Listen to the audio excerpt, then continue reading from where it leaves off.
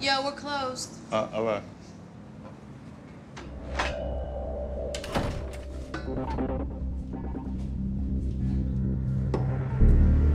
Yo, what the fuck? I just said. Shut up!